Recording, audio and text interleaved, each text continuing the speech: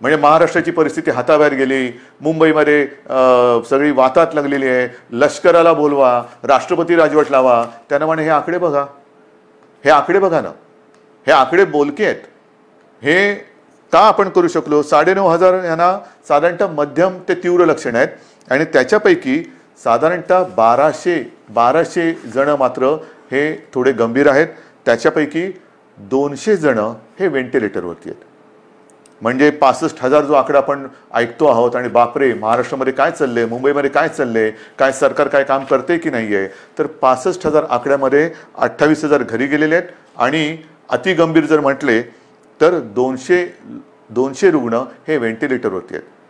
आता व्हेंटिलेटरवरती सुद्धा जे आहेत यापैकी सुद्धा काही जण हे म्हणजे आत्ताचे नाहीत आत्तापर्यंतच्या पासष्ट हजारातले मी बोलतोय. यापैकी काही जण व्हेंटिलेटरवरनं सुद्धा व्यवस्थित बरे होऊन घरी गेलेले आहेत. ही वस्तुस्थिती आहे. ही वस्तुस्थिती आहे.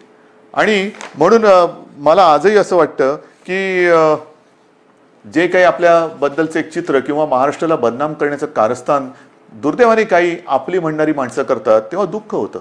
दुःख होतं. पण हे जरी खरं असलं तरी एका गोष्टीचं मला नक्कीच समाधान आहे की आपला विश्वास जो सरकारवरती आहे त्याच्यामुळेच सरकार हे काम करू शकतोय. साधारणतः एक महत्त्वाचा मुद्दा होता तो म्हणजे इतर राज्यातले मजूर.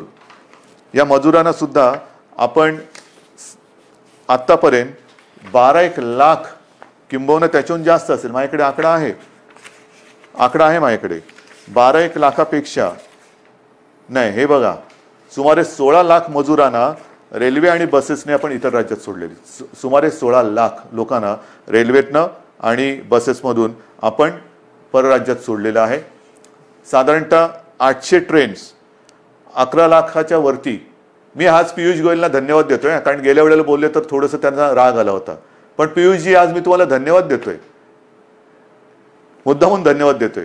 कारण आपण त्यावेळेला ते मनावर घेतलं आणि खरंच तुम्ही ट्रेन्स उपलब्ध करून दिल्या.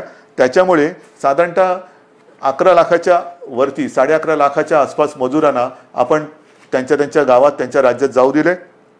एस टीपर्यंत एस टी एस टीने आपल्याला साधारणतः बेचाळीस हजारापेक्षा साडे बेचाळीस हजार एस टी बसेसद्वारे आपण सव्वा पाच लाख मजुरांना राज्याच्या सीमेपर्यंत सोडलेले आहे आणि याच्यावरती आपण आत्तापर्यंत मुख्यमंत्री सहायता निधीतून जवळपास पंच्याऐंशी ते नव्वद कोटी रुपये खर्च केलेले आहेत.